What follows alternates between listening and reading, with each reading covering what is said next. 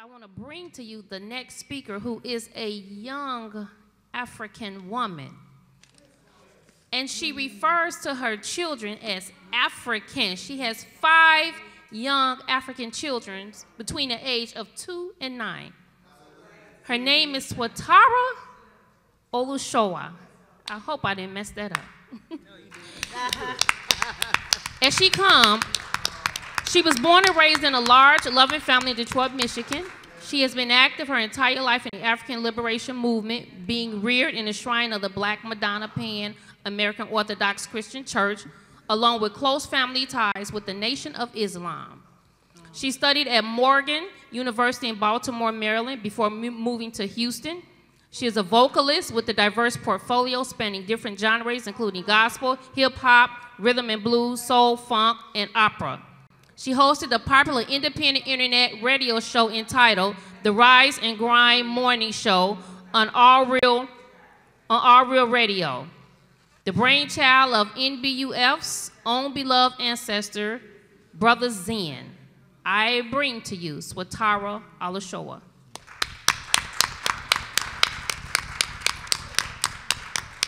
Thank you. May I have permission from my elders to continue? Mm -hmm. Thank you, thank you. Ashe. I bring you greetings from the Houston chapter of the National Black United Front. Uh, where our local and national chairman is Kofi Taharka. Our local secretary is Falade Matsi Moyo. Hmm. And they send peace, love, light, and blessings as well. This is heavy work that we take on. To have your ancestors use you, for you to be sitting in this room and find this topic important, that's heavy work. Important work. I didn't even realize until I was asked to come here that I was a part of the reparations movement. Hmm. I didn't even realize. And I sat back and I said, well, maybe this is a reparations issue. Now that I think about it, I'm just a 33 year old mother of five and wife for 10 years trying to teach white people the difference between right and wrong. Because when it come to us and our people, they seem to get amnesia. At any rate, uh, I've been doing a lot of work regarding the Sugarland 95 in Houston, right outside of Houston. It's a suburb, big fluffy suburb of Sugar Land, Texas. Mm-hmm. A school district decided to build a $50 million career technical center. They were warned by a local historian, Reginald Moore, that there were likely graves there because that land that they purchased was formerly a prison plantation right. post Civil War, and that they shouldn't build there. They ignored him. So he lobbied the Texas Historical Commission to contact them on his behalf, which they did, and again warned the school district that remains were likely there mm. and they might want to properly survey the land before they break ground. But they said, mm, this is a $50 million deal. No, we building our school. We're not surveying nothing. We'll hire an archaeological firm and just have them on site just in case we find something. Mm. So that's what they did. Four months into building, they found the first bone fragments of our ancestors. Two more months of searching, and they found 95 graves that we know of, of our ancestors. They found chains and items indicative of convict labor. From the ages as young as 10 when they died, up to 70 more than half of them were under the age of 34. Most of them were around the age of 19 when they died. Worked to death, infections, gunshot wounds, diseases, uh, degenerative muscle disease, cancer, you name it. So what I want to do is take a moment to properly paint a picture of these men, boys, elders, what they endured, why we are old, mm. as a people, how it connects to reparations, the history of Sugarland. And hopefully I have enough time because it's a lot of information to try to pack into 20 minutes. Yeah. Um, if you are comfortable with doing so, I would like you to close your eyes momentarily. And if you're not comfortable with doing so, that's fine as well. But I really want you to envision triple degree heat, being wrongfully imprisoned because you ain't a slave no more, hmm. and sugarcane fields taller than you.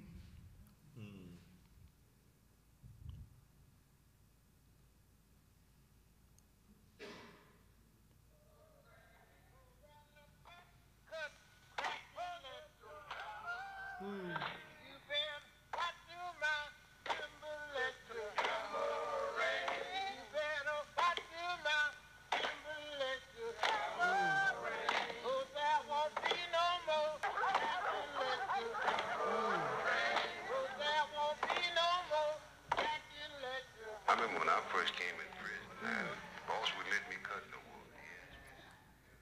Imagine being in such a traumatic and deafening situation, and you still find the energy to sing. To sing a song to get you through the day. That is the strength and tenacity and perseverance of our people who had just endured chattel slavery. I'm not even into my presentation yet. All right.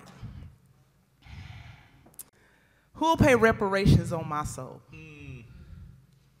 Many suggestions and documents written, many directions for the end that was given. They gave us pieces of silver and pieces of gold. Tell me, who will pay reparations on my soul? Hmm.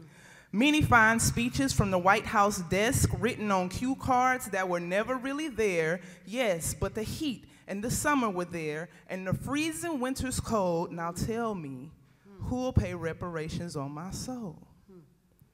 Call my brother a junkie because he ain't got no job. Told my old man to leave me when times got hard.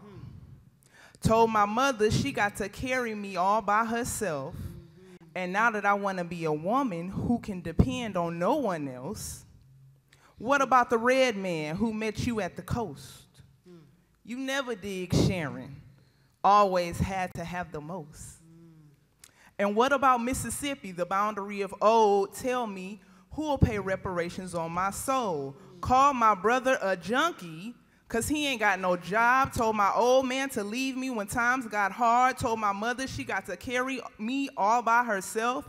And now that I wanna be a woman who can depend on no one else, what about the red man who met you at the coast? You never dig Sharon, always had to have the most. And what about Mississippi, the boundary of old? Tell me who will pay reparations on my soul? Many fine speeches from the White House desk, written on cue cards that were never really there. Yes, but the heat and the summer were there, and the freezing winter's cold. Tell me who will pay reparations on my soul? Who will pay reparations? Because I don't dig segregation, but I can't get integration. I got to take it to the United Nations. Someone to help me away from this nation. Tell me who will pay reparations on my soul? Scott.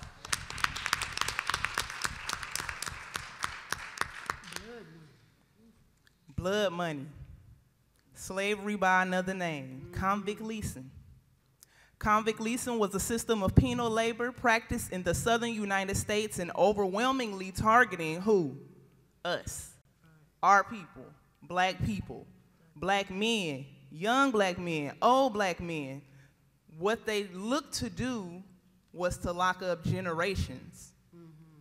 So they want the granddaddy, they want the daddy, and the son, and the grandson, if you hear. Mm. They want them all. Convict leasing provided prisoner labor to private parties, such as plantation owners and corporations. There are multi-billion dollar corporations in existence today with the blood of our ancestors at their foundation. And they balling right now. That's our money. The state of Louisiana leased out convicts as early as 1844, but the system expanded all through the South with the emancipation of slaves, emancipation of slaves at the end of the American Civil War in 1865. It could be lucrative for the states. In mm. 1898, 73% of Alabama's entire annual state revenue came from convict leasing. Mm-hmm. While northern states, like Illinois, sometimes contracted for prison labor, the historian Alex Lichtenstein notes that only in the South did the state entirely give up its control to the contractor. Hmm. And only in the South did the physical penitentiary become virtually synonymous with the various private em- enterprises in which convicts labored. Hmm. So in Illinois, you might not have known this, maybe you did. You're gonna find out today. In December 1868, just 150 short years ago, 1,160 inmates were housed at the Illinois State Prison at Joliet. I hope I'm saying that right. Joliet? You know where that is? That's the place? Okay. They had the largest, at the time, in 1868, the largest prison population in the nation. Mm. Those prisoners were forced to make shoes, boots, cigars, whatever they could make inside, because we in the north, there wasn't a whole lot of crops. But harnesses for guns, they were forced to make that in those prisons right here, in that prison right here. There we go. Convict leasing in the United States was widespread in the South during the Reconstruction period after the end of the Civil War, when many Southern legislatures were ruled by majority coalitions of blacks and radical Republicans, and Union generals acted as military governors. Farmers and businessmen needed to find replacements for the labor force once their slaves had been freed. Some Southern legislatures passed black codes, synonymous with slave codes, to restrict free movement of blacks and force them into employment with whites.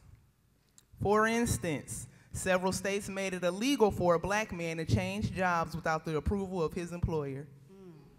You can't even quit and go somewhere else. Oh, I got a better offer over here. No, you didn't. Not if I didn't say you did. That's right.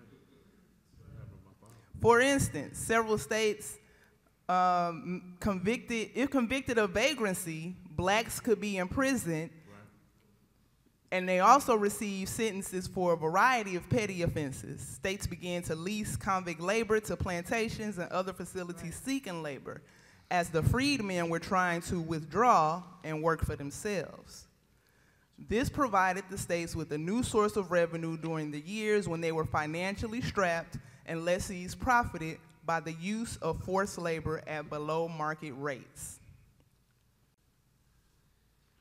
Corruption, lack of accountability, and racial violence resulted in one of the harshest and most exploitative labor systems known in American history. African Americans, mostly adult males, due to vigorous and selective enforcement of laws and discriminatory sentencing, made up the vast majority of the convicts' lease. Our people leased and worked to death. And we're talking about children and elders, our children, our elders. Imagine them coming in here right now and putting everybody to work. The writer Douglas A. Blackmon described the system. It was a form of bondage distinctly different from that of the antebellum South, in that, for most men and the relatively few women drawn in, this slavery did not last a lifetime.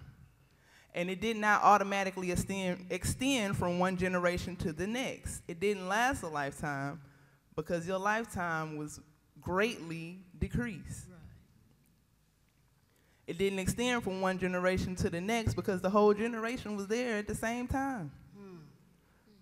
But it was nonetheless slavery, a system in which armies of free men guilty of no crimes and entitled by law to freedom were compelled to labor without compensation, were repeatedly bought and sold, and were forced to do the bidding of white masters through the regular application of extraordinary physical coercion. Essentially, the criminal justice system colluded with private planters and other business owners to entrap, convict, and lease blacks as prison laborers. The constitutional basis for convict leasing is that the 18, is that the 1865 13th Amendment, while abolishing slavery and involuntary servitude generally, permits it as a punishment for a crime. Hmm. Most of the time, we don't see the faces of the white people behind it, or know exactly what they did, who they did it to, when they did it. So this is Stephen F. Austin, and it's a whole lot of stuff named after him in oh, Texas. Stephen F. Austin acquired Fort Bend County through a Mexican land grant. He and the settlers massacred the native people to control the fertile floodplain of the Brazos River. The Brazos River is right next to the land that the Sugarland 95 were found in, right now today. That's the land that the school district bought. Despite its sweet name, the Sugarland 95 has a tortured past. Until the Civil War, those families, Austin's family, the families that he provided slaves to, he brought slaves to his, slavery to his communities in Texas. Enslaving more people brought more wealth. So until the Civil War, those families used sugar plantations to continue growing that wealth. But following emancipation, the Sugar Bowl of Texas went bankrupt. Oh, Those are children on that plot of land that the school district purchased. These are children that were, quote unquote, orphaned by their parents who had been incarcerated. And so they incarcerated the children as well. In 1838, three brothers, Matthew, Samuel, and Nathaniel Williams, started one of the first major sugar plantations in Texas on property in what is now known as Sugarland that had been granted to their family by Stephen F. Austin himself. By the 1850s, sugar was a major industry in Fort Bend, Matagorda, Wharton, and Brazoria counties, which became known as the Sugar Bowl of Texas. Like cotton plantations, sugar plantations relied heavily on slave labor. Harvesting cane was even more arduous than picking cotton. Slaves worked around the clock during harvest season to cut the sugar cane, press out the cane juice, boil it down, and then pack the finished product on the trains to be shipped around the country. Sugar work was about as bad as you can imagine, said Sean Kelley, who was a historian of early American history at the University of Essex. People got sick, they died, women's fertility rates plummeted. Europeans quickly discovered that you couldn't get people to work in sugar voluntarily, which is why there's a strong historical linkage between sugar and slavery. Then came the Civil War. The South's defeat of the abolition of slavery plunged the Texas economy into a depression. Deprived of their labor force, most sugar plantations on the lower Brazos went bankrupt. One of the few that survived the, was the Williams Plantation, which was purchased after the war by Edward H. Cunningham and Littlebury A. Ellis, who were both Confederate veterans. This is a shot of a victim of the Texas convict lease system who was unloading a cane car at the Imperial Sugar Mill in 1900 that Cunningham and Ellis now own. They survived the abolition of slavery by finding a new source of cheap labor, the Texas prison system. Although they weren't the first growers to use convict labor, they were the biggest. In 1878, they signed a contract with the state to lease Texas's entire prison population. They leased Texas's entire prison population, the state of Texas. This was perfectly legal since the 13th Amendment, which outlawed slavery, made one very consequential exception neither slavery nor involuntary servitude, except as punishment for crime, whereof the party shall have duly convicted, shall exist within the United States or any place subject to their jurisdiction. So if I can make you a slave because you commit a crime, then I'm about to make everything you do illegal.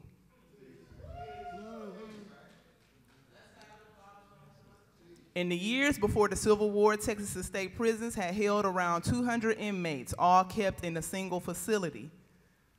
After abolition, the prison population exploded, and this was in Huntsville, disproportionately, of course, just like today, with our black men mm-hmm. and women. The prison population increased from 489 in 1870 to 1,738 by 1878, and it reached 3,199 by 1890 and 4,109 by 1900, most of them being our people. The working conditions in Cunningham and Ellis's sugar fields were as bad or worse than they had been on the slave plantations. Hmm. Mosquito-borne epidemics, frequent beatings, and lack of medical care resulted in a 3% annual mortality rate, and that's what's reported, so we know it was more than that. Right. The plantation soon became notorious across the state as the hell hole on the Brazos. Between 1906 and 1908, the plantation and the sugar processing operations were brought up by Isaac H. Kempner of Galveston and William T. Eldridge of Eagle Lake who formerly incorporated as the Imperial Sugar Company. Imperial Sugar Company is a multi-billion dollar corporation today. Right. Four minutes. Yeah. multi-billion dollar corporation today, meaning today the Imperial Sugar Company is owned by the Louis Dreyfus Group, mm. as in the actress Julia Louis Dreyfus, the white girl from Seinfeld. Yeah, uh-uh. living her best life. Uh huh. They own Imperial Sugar. They are the second largest traders of sugar in the world. They are the largest traders of rice and guess what? Cotton in the world. Louis Dreyfus Group. That's our money because the Sugar Land 95 and the men that worked and toiled and died on that land with them were the foundation of that corporation. They would not be here making that amount of money today without the slave labor and prison labor of our people. Exactly. Two minutes. And that's when I realized this is a reparations issue. It is. So these are just some shots from Sugarland. These are the size houses. These are the mansions. They name stuff after Kempner. They name, they have a, a statue of Stephen F. Austin on a horse with a gun right in front of City Hall. In their museum and the foundation of Sugarland, they don't mention any of the things I just told you. They don't talk about convict leasing. They don't talk about slavery. And companies still profiting off of convict labor right now. Okay. Yeah. Probably many that you frequent if you want to take a picture of that. Yeah. Yes. Um, so. You so Fort Bend ISD, Fort Bend ISD, Fort Bend Independent School District. We have to put pressure on them. We are still in that fight. They are still literally right now mishandling the remains of our ancestors, the Sugar Land 95. We have been fighting them for two years on every front except legal. We are in the search of a lawyer, a legal team, somebody that's willing to commit some time and due diligence to this issue. Um, Thank you. Yeah. Thank you so much. Thank you. So there are two commodities that we learned that we're not reaping the benefits of. That's cotton and sugar. Everything. And yet, there's some of us that feel like we don't deserve reparations. Yeah. Again, I'll say it again. I'll take your share. Let's give her another hand clap. Thank you.